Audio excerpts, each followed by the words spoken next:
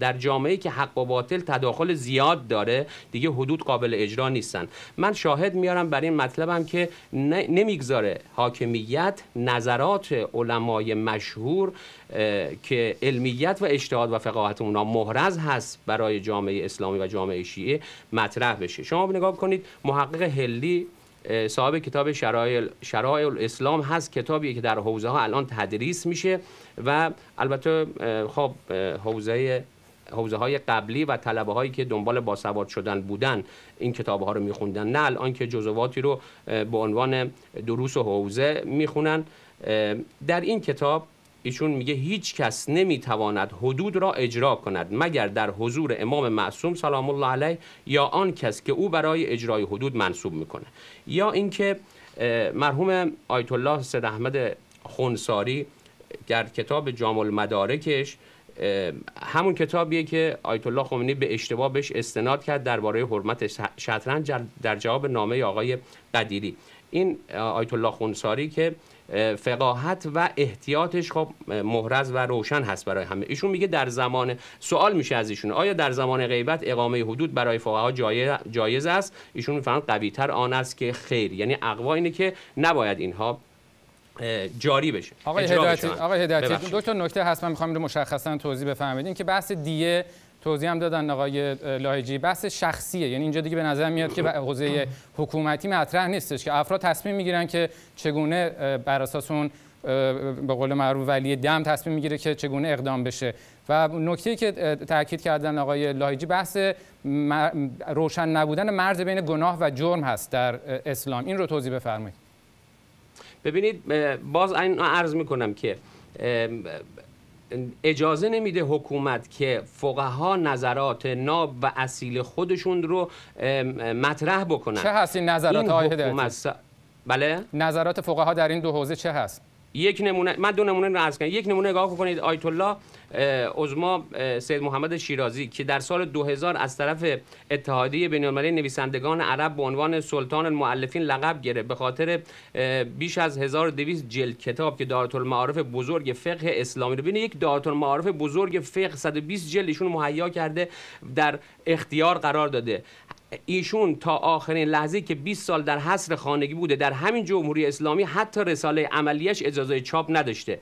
اگر اجازه بده حاکمیت که این کتاب های تخصصی وارد جامعه بشه وارد افکار عمومی بشه این همه تناقضات در یک لایحه‌ای که حتی جناب لایجی میفرمایند که من خجالت می‌کشم اسم رو قانون بگذارم وجود نخواهد داشت. ایشون در کتاب جلد 101 دارت المعارف فقهشون میگن آیا خردمندانه است که از مردمانی که چون حکومت آنها را محدود و وسایل کسب و کار آنها را فراهم نمی نماید و در اوج فقر و نداری زندگی می کنند و نمی توانند حتی قوت روزمرهشان را فراهم نمایند بخواهیم که دزدی نکنند و اگر چنین کردن دستشان را قطع کنیم و یا جوانان پرغریزه ای را که به دلیل نداشتن شرایط مناسب امکان ازدواج برایشون فراهم نیست حد بزنیم.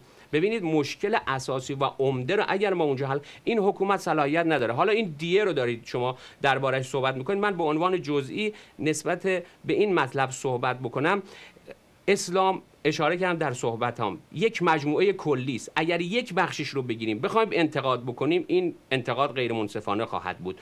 وقتی اسلام قوانین پویا و گسترده اقتصادی برای جامعه برای خانواده برای تمام آهاد داره بهش یک چشمانداز عمومی داشته باشیم طبیعتا این مسئله حل میشه. وقتی که مسئول تأمین هزینه زندگی و مسئول تأمین اقتصادی خانواده رو مرد قرار داده اسلام طبیعتا مرد در, مرد در معرض خطرات فراوان هست. مرد در معرض مرگومیر زیاده. شما میگید مرد دیش دو برابر زن هست. یک تعبیری کرد خانم صد من این رو گله دارم ازشون. وقتی که دیه مرد دو برابر دیه زن هست. این به این معنا نیست که ارزش جان زن نصف جان مرد هست. این تعبیر اشتباه در هیچ متون اسلامی هم این نیامده چرا اسلام به مرد, مرد رو دیهش رو دو برابر قرار داده؟ برای که مسئول تامین اقتصاد خانواده و تامین هزینه های زندگی مرد هست. حالا مردی از به هر دلیل قرار دیش گرفته بشه. این دیه کجا میره؟ در خانواده مصرف میشه.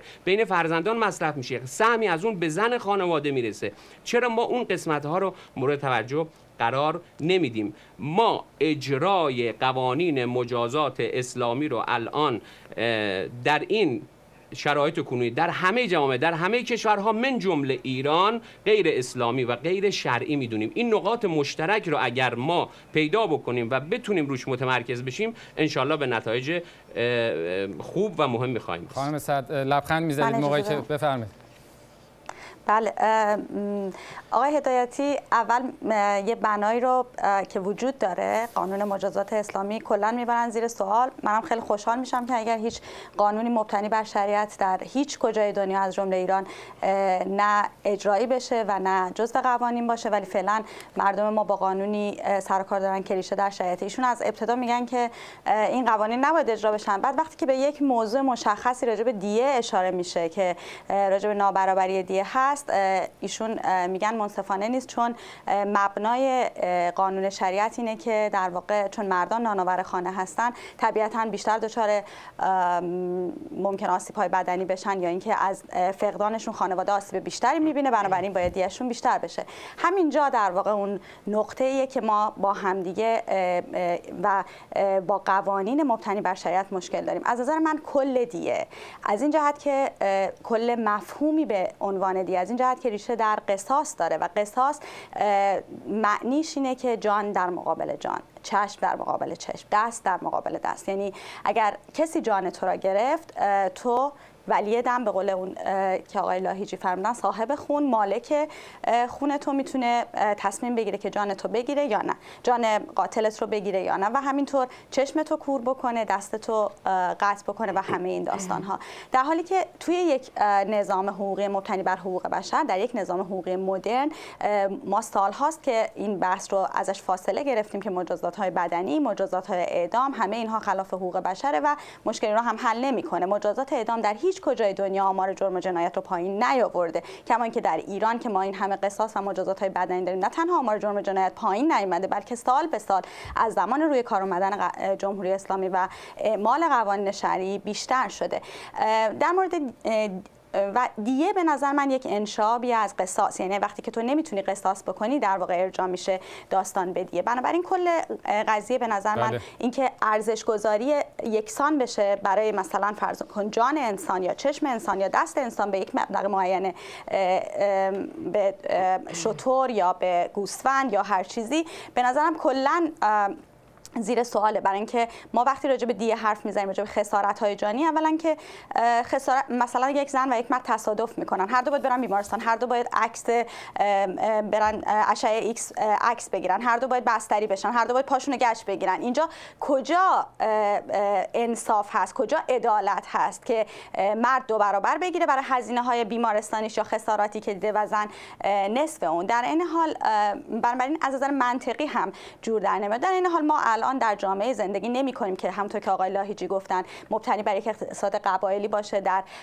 قرنها پیش از این که مردان نانآور خانواده باشن. بسیاری از زنان نانآور خانوادن کجا این قانون برای اون زنانی که نانآور خانوادن سرپرست خانوادن ارزشی بیشتر از مردی که اساسا هیچ دخالتی در امور اقتصادی خانواده نداره. مردی که معتاده مردی که بیکاره. جان یک مرد معتاد بیکار سارق. از جان یک زن پزشک جراح نانآور خانواده بیشتر ارزش داره و این اونجاییه که نه عدالت نه برابریه و نه مبتنی بر حقوق بشر. آقای لاهیجی وقت شما میدین آقای هدایتی اگه نکته دارید. ولی صحبت آقای لاهیجی بشنم آقای لاهیجی شما هم ظاهرا اساسا با دیه مخالفید. اگر نکته دارید بفرمایید و سوال بعدی من این هست. اگر بتونید سریع پاسخ بفرمایید در مورد بحث اعدام افراد زیر سن هست که در این قانون به که نکاتی هست که قابل بحث است. ببینید من فقط با دیه مخالف نیستم. من با مجموعه این مقرراتی که به عنوان قانون مجازات اسلامی سی ساله که در جامعه ایران می‌تونم بگم بر جامعه ایران تحمیل شده و نه فقط با جرم و جنایت مبارزه نکرده باعث با وجود تمام شدت عملی که به خرج دادن متاسفانه آمار و جرم جنایت سی, سی سال گذشته اگر سی برابر نشده به تصدیق و به گواهی مسئولان زندانهای جمهوری اسلامی تنها و تنها طی سه سال گذشته چهل درصد بالا رفته. بنابراین نشون میده که با چنین ابزاری با چنین به اصطلاح قوانینی نمی شود با پدیده جرم و جنایت در یک جامعه قرن بیستم قرن بیست یکم مبارزه کرد. و ما اصلا اینجا هم کاری به نظام جزایی اسلام نداریم در مقام انتقاد نظام جزایی اسلام نیستیم. ما میگیم که برای اداره جامعه ایران باید یک قانونی به تصویب برسه که این قانون با مقتضیات کنونی جامعه ایران مقتضیات اجتماعی فرهنگی سیاسی اقتصادی جامعه ایران سازگاری داشته باشه. چطور می‌تونن مردم ایران بپذیرند که در همین به اصطلاح قانون جدید سن بلوغ کیفری زن نه سال قمری است. یعنی چطور می شود در سالهای نخستین قرن بیست و یکم به خانواده ایرانی گفت که یک دختر هشت سال و هشت ماهه از نظر کیفری بالغه. یعنی اگر تو مدرسه باید که دعواش بشه و اون رو حل بده و اون بخوره زمین و فوت کنه این بچه هشت ساله رو میشه هشت سال و نیمه رو میشه متهم به قتل کرد. ببینید این فاجعه است. و همینجا عرض می‌کنم که اصلا بین ارکان حکومت و ارگانهای حکومت هیچ گونه هماهنگی وجود نداره. جمهوری اسلامی از یک طرف کنوانسیون حقوق کودک رو میپذیره. در کنوانسیون حقوق کودک طفل یعنی حتی میگن طفل کمتر از 18 سال همچنان طفل و کودکه.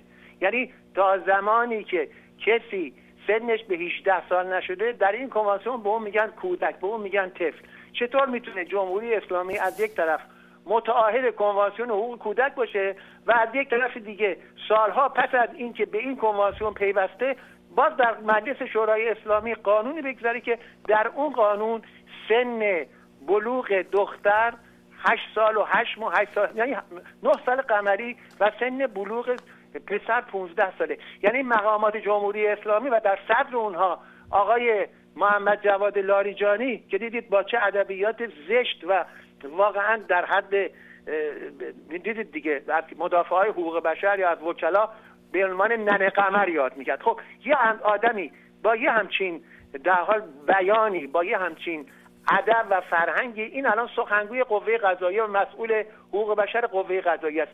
این آقا یک ماه دیگه که شورای حقوق بشر کارش رو آغاز می‌کنه چگونه می‌خواهد اونجا بره پاسخ بده که ما بعد از سی سال دو مرتبه اومدیم یک قانونی گذروندیم که در اون قانون همچنان سن بلوغ دختر نه سال قمری است سن بلوغ پسر 15 سال قمری. ما ببینید الان از روی کار اومدن این حکومت تا الان یکی از معضلات جامعه ایران شکنجه بوده. باز در این قانون همچنان شاه دلیل اقراره. و شما می‌دونید که برای گرفتن اقرار راهی به غیرت شکنجه کردن نیست. یعنی وقتی اثبات جرم باید از طریق اقرار صورت بگیره بنابراین انقدر باید متهم رو زد شکنجه داد. تا اون اقرار بکنه و, و موارد دیگه ای خانم سرد راجع به مصطف الارض یاد کردن. شما این ماده 287 که بخونید وقت می‌بینید چه فاجعه ای رو دارن به عنوان قانون بر جامعه ایران تحمیل می‌کنن. هر کس به طور گسترده مرتکب جنایت علیه تمامیت جسمانی افراد جرائم علیه امنیت داخلی یا خارجی کشور نشر اکاذیب اخلال در نظام اقتصادی کشور احراق و تخریب. اولا ادبیاتی که توی این قانون به کار بردن فقط آدمای حوزه دیده می‌تونن بفهمن. احراق و تخریب. این نمیگه آتیش زدن میگه احراق و تخریب. پخش مواد سمی و میکروبی و خطرناک یا دایر کردن مراکز فساد و فحشا یا معاونت در آنها گردد. مفسد فرعت محکوم به اعدامه. شما ببینید با این این همه اجمال و کلیگویی که در این چند خط به کار بردن هر کسی رو فردا می‌تونن همچنین که الان چهار تا وبلاگ نویس رو محکوم به اعدام کردن فردا بدونن هر کسی رو بگن که تو در نظام اقتصادی یا اخلال کردی یا اینکه بله. مرکز فساد درست کردی و بنابراین محکوم به اعدام می‌بینید یه همچین وضعیتی است که به این صورت بعد از گذشته سه دهه به عنوان قانون تحویل جامعه ایران دادن. آقای هدایتی نگاه شهر درباره سن بلوغ سن قانونی بر چه متونی متکیه و نکاتی هم که شنیدید هم خانم صد و هم آقای لایجی عنوان کردن. آخرینش مسئله اقرار هست.